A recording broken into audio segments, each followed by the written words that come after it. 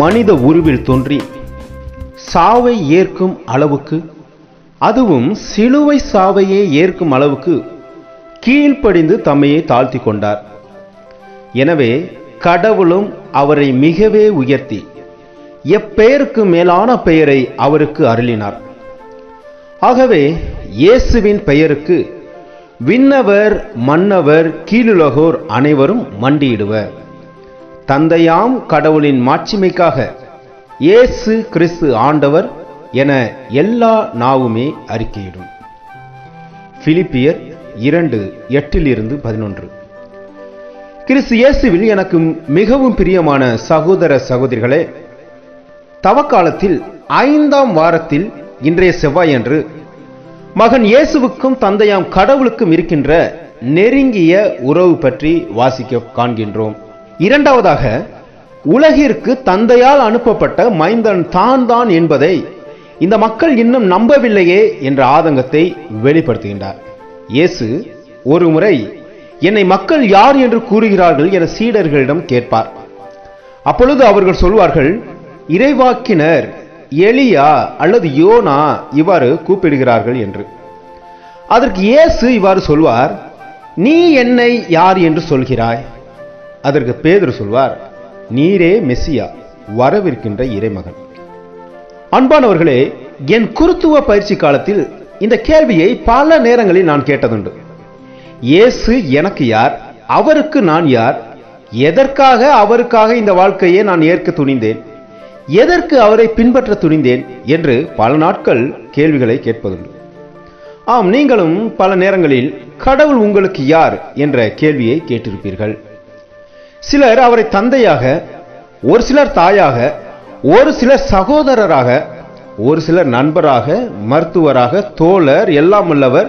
இப்படி அவருக்கு பல பெயர்களை ஒவ்வொருவரும் அவரவரின் அனுபவத்தின்படி கூறிக்கொண்டு இருக்கின்றோம்.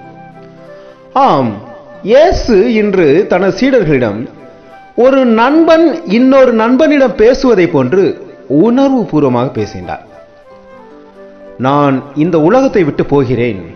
நீங்கள் என்னை காண மாட்டீர்கள் இயேசு இவ்வாறு சொல்வதை கேட்டு அங்கு கூடியிருந்தவர்கள் இயேசு தனது கதையை முடித்துக் கொள்ளப் போகின்றார் என்று மகிழ்ச்சி கொள்கின்றார்கள்.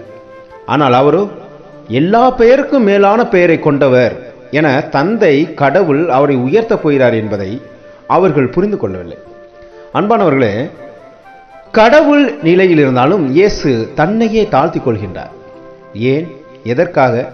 அன்பு மட்டும்தான் காரணம். கீழ்ப்படிதல் மட்டும்தான் காரணம். ஆம். தன் தந்தையின் மேலும் மக்களாகிய நம்மேலும் அவர் கொண்டிருந்த அன்பு தன் தந்தைக்கு கீழ்ப்படிய வேண்டும் என்ற அவரின் இலக்கு மட்டும்தான் இயேசுவை இந்த கொடூர சாவையும் ஏற்க செய்தது. நீங்கள் இந்த உலகை சார்ந்தவர்கள் ஆனால் நான் இந்த உலகை சார்ந்தவன் அல்ல என்கிறார் இயேசு. இயேசுவிற்கும் நமக்கும் வானுக்கும் மண்ணுக்கும் இருக்கின்ற வித்தியாசமும் தொலைதூரமும் தான் இருக்கின்றது. நாம் கிறிஸ்தவர்கள் இயேசுவை பின்பற்றுகிறவர்கள் என்று எப்படிதான் சொல்லிக் கொண்டாலும் அவரோடு உறவு நிலையில் மனநிலையில் எத்தனை தான் நெருக்கமாக இருந்தாலும் ஆனால் அவரை போன்று மாறுவது என்பது இயலாத காரியமாகவே இருக்கின்றது. ஆம் இயேசு இந்த உலகத்தை சார்ந்தவர் அல்ல. நாம் இந்த உலகை சார்ந்தவர்கள். இந்த உலகம் எத்தகைய மதிப்பீடுகளை கொண்டுள்ளது என்பது நமக்கு தெரியும். பழிக்கு பழி அடிக்கு அடி கொலைக்கு கொலை என்று போய்க் கொண்டிருக்கிறது இன்றைய உலகம். நாமும் சில நேரங்களில் அதன்படியே போக கால்கள் துடிக்கின்றது. ஆனால் இவ்வுலகை சாராத இயேசுவின் குணநலன் எப்படி இருக்கின்றது? மன்னிப்பு அன்பு உயிரை பறித்தாலும் உயிரை எடுத்தாலும் சித்திரவதை செய்தாலும் மாறாத அன்பு இறக்கின்ற வரையில் மன்னிப்பு. இந்த தவ காலத்தில் இதே குணநலன்களை நாம் நமதாக்கி கொள்ள கடமைப்பட்டுள்ளோம். அன்பானவர்களே மீண்டும் நான் ஒன்றை கூற ஆசைப்படுகிறேன் வாழ்வில் பல நேரங்களில் இயேசு உண்மையான கடவுளா? நம்மை மீட்க வந்தவரா? அவர் என்னை பார்க்கின்றாரா? என் துன்பத்தை என் விண்ணப்பத்தை கேட்கின்றாரா என்று நீங்கள் சந்தேகப்படாதீர்கள். கடவுள் உங்களுக்காக வந்தார் உங்களுக்காகவே இறந்தார் உங்களுக்காகவே மீண்டும் வரவிருக்கிறார் என்ற உறுதியான நிலையான விசுவாசத்தை வளர்த்து கொள்ளுங்கள். நம் கடவுள் எல்லாம் வல்லவர். நம் கடவுள் தூய்மையானவர்.